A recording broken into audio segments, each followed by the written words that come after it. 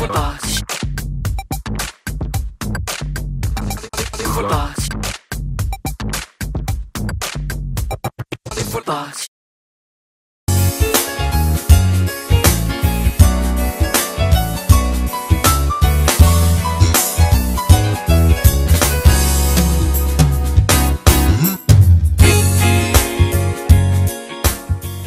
Presentato dall'azienda vitivinicola La Cascina del Colle di Villamagna il Mammut vino pregiato prodotto in sole 1800 bottiglie.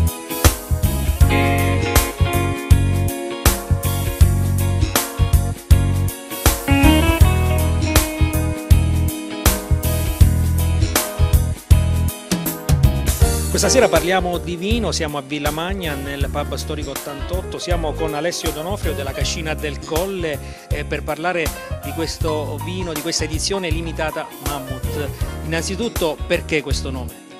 Beh, Mammut eh, nasce qualche anno fa eh, per rievocare un po' quella che è la storia della nostra azienda. Eh, appunto fu ritrovato eh, nella fine degli anni 60 dove sorge l'attuale cantina, un eh, reperto, un pezzo di zanna di Mammut e allora da lì l'idea di dedicarla a un vino possente, maestoso, qual è il, il, nostro, il nostro, prodotto e cercare di valorizzare quello appunto che, che si collega alla storia del, eh, del, della nostra azienda e riportarla su quella che può essere la storia futura di, di un nostro vino.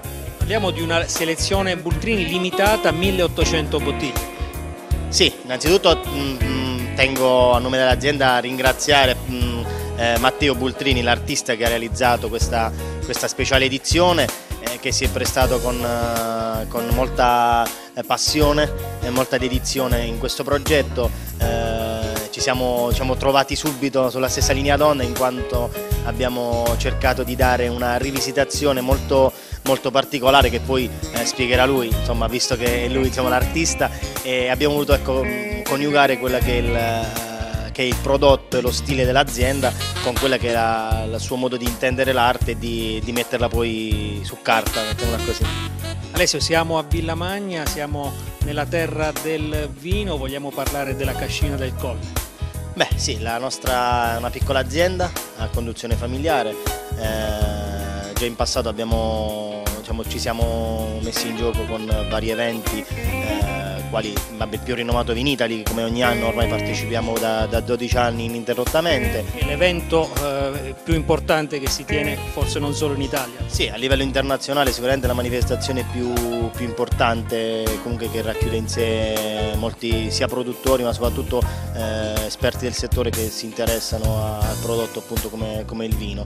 E in passato come detto anche nella, nella presentazione della, della Villa Magnadoc, quindi come detto prima quello che è il forte legame con il territorio è sicuramente un prodotto come, come Villa Magnadoc, come Montepulciano d'Abruzzo, in questo caso il Mammut, eh, devono per forza di cosa diventare il fiore all'occhiello del, del nostro territorio e in primis della nostra azienda. Proposito di vini, oltre al Mammut vogliamo parlare di altri vini, delle vostre specialità e anche dei progetti e dei programmi futuri per il 2015, visto che siamo a fine anno. Sì, allora sicuramente come a livello aziendale, nonostante siamo una piccola media azienda, comunque lavoriamo su circa 15 ettari di terreno di proprietà, produciamo intorno alle 200-250 mila unità bottiglie totali aziendali e diciamo si differenziano molto bene, ehm, abbiamo diverse etichette, quindi lavoriamo dal classico Montepulciano d'Abruzzo DOC per passare al Trebbiano che è un altro diciamo, vitigno molto, molto rinomato abruzzese e per passare poi al pecorino e alla passerina. Abbiamo alcune particolarità come il, il, rosato con la classica lavorazione del cirasuolo e abbiamo anche un rosé QV71, eh, mi fa mm, piacere sottolinearlo perché è un prodotto molto particolare rispetto ai classici rosati in quanto è un, un blend tra Montepulciano e Pecorino e che è stata un po' una scommessa del, del nostro enologo insieme a mio padre e, e Giancarlo Fieni, il nostro indimenticato collaboratore che insomma hanno vinto per adesso hanno vinto la scommessa visto che è un prodotto che si, che si fa valere anche sul mercato. Dicevamo Alessio, siamo a fine anno, tempo anche di bilanci, che 2014 è stato questo per la Cascina del Colle? Uh, sempre diciamo, facendogli gli opportuni, eh, volando sempre con, dice, con uh, basso. basso. e con i piedi a terra, è stato un anno molto soddisfacente, abbiamo, ci siamo tolte tante belle soddisfazioni e abbiamo visto che c'è un mercato che se stimolato, se eh, diciamo, curato nei minimi dettagli risponde e come. È un mercato che come si dice in gergo tira ancora, nonostante la crisi che ci affligge un po' intorno, ma noi siamo positivi, siamo eh, molto appassionati. È un'azienda giovane anche. Sì, e questo non ci fa paura sicuramente, sempre però con, con i piedi di piombo come detto prima, e il bilancio è più che positivo sicuramente. E progetti futuri? E proprio per i progetti futuri nostra, diciamo, il nostro intento è quello di chiaramente prendere quelli che sono i risultati di quest'anno come punto di partenza, mai come punto di arrivo. E c'è una piccola thread sorpresa che poi più là andremo anche a svelare, sarà un 2015 in cui l'azienda, essendo diciamo, dal 97 che esistiamo, eh, quest'anno nel 2015 compirà il diciottesimo anno, quindi diventerà maggiorenne e quindi diciamo, si inizierà a comportare da persona adulta e diciamo, la svolta che stiamo pensando di dare all'azienda è da azienda adulta che finalmente è consapevole dei propri mezzi e sa dove vuole arrivare.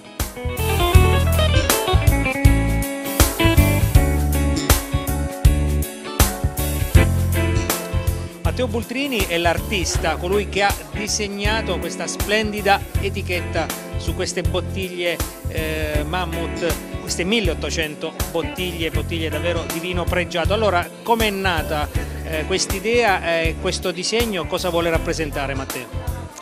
Allora, buonasera, eh, l'etichetta diciamo che rispecchia più che altro eh, il valore del vino Ehm, questo valore diretto eh, che dà eh, ai sensi, quindi anche dal punto di vista poi eh, segnico diciamo che ho cercato di riportare ehm, più che altro sia dal punto di vista del colore che dal punto di vista simbolico quello che è il processo di vinificazione, quindi ci sono queste macchie di colore che sono macchie ma non a caso, che riprendono e richiamano gli elementi della natura e quello che poi ci portano, porta l'azienda a creare questo meraviglioso prodotto, eh, l'aria, la terra, l'acqua e sul fondo c'è poi eh,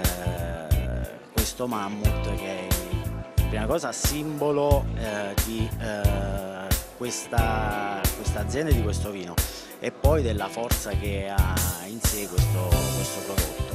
Il tutto è legato alla, alla mia ricerca artistica e pittorica, mm, diciamo perché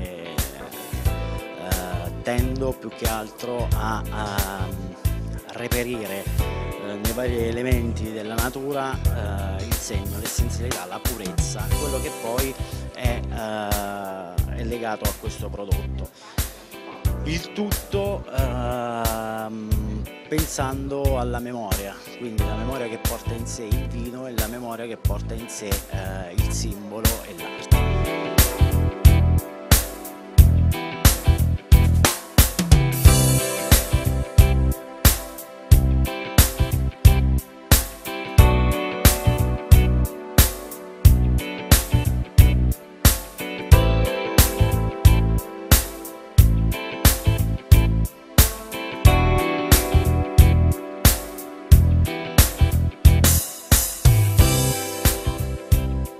Paolo Bellucci, eh, collega, giornalista, eh, curatore, critico di Matteo Bultrini.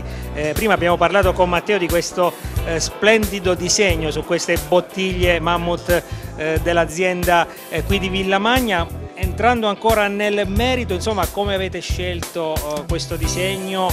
È stata una ricerca anche molto molto, per così dire, faticosa. Sì, io penso che scelta migliore da parte dell'azienda nel commissionare l'etichetta di questa edizione limitata del Mammut non poteva esserci perché Matteo Bultrini è un artista che ha dedicato gran parte della sua produzione, recente produzione, al tema della memoria.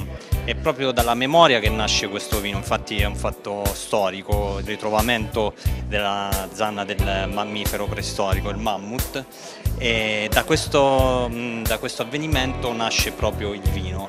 E quindi qual è il, il filo che lega eh, Matteo Bultrini alla, al mammut? È il tema della, della memoria e da qui eh, nasce proprio la realizzazione dell'etichetta Matteo Bultrini, un artista di Prato La Peligna che eh, eh, ha fatto anche altro nella sua, nella sua, carriera artistica. Sì, è un artista informale eh, che ha incentrato la sua produzione soprattutto sulla tecnica della combustione è un artista informale, eh, ha partecipato a numerose manifestazioni sia in Italia che all'estero, recentemente è stato invitato al premio Michetti di Francavilla, ha partecipato al premio Sulmona, ha esposto in gallerie prestigiose a Barcellona, a Roma, è un artista giovane che piano piano però si sta facendo conoscere, apprezzato sia dal pubblico che dalla, che dalla critica. Un artista giovane, bravo, che eh, ben si coniuga con questa azienda che oggi presenta questo vino d'eccellenza.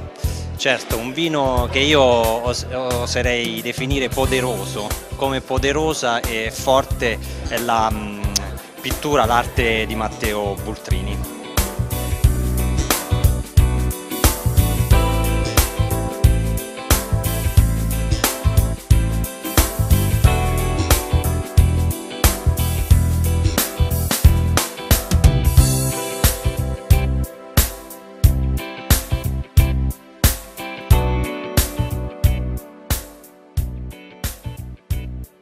Vittorio Festa è l'enologo della Cascina del Colle.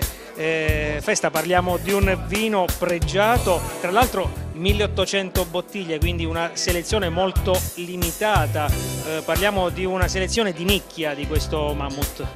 Sì, intanto ha detto che il Montepulciano oggi è a tutti gli effetti uno dei più grandi rossi italiani e nel caso specifico in questa, in questa zona, in questa azienda, siamo a Villamagna e, e la, la, vocazione del territorio è stata anche manifestata qualche anno fa con la, con la DOC Villamagna in questo caso non è la DOC Villamagna che presentiamo, ma presentiamo una selezione particolare del mammut. In questo caso abbiamo eh, coniugato quello che è l'arte nostra di fare il vino, l'abbiamo coniugata con un artista, eh, a mio avviso, giovane e brillante, che ha dedicato a questo, questa bottiglia la sua, la, sua, la sua arte, la sua creatività con questa etichetta, a mio avviso molto bella.